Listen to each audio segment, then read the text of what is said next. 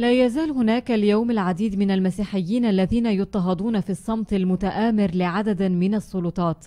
هذا ما قاله البابا فرانسيس صباح اليوم خلال القداس الإلهي في كنيسة دير سانتا مارتا بمشاركة البطريرك الجديد للأرمن الكاثوليك غريغوريوس بطرس العشرين جبرويان وجميع أعضاء سينودوس الكنيسة الأرمنية الكاثوليكية إضافة إلى الكاردينال ليوناردو ساندري رئيس مجمع الكنائس الشرقية.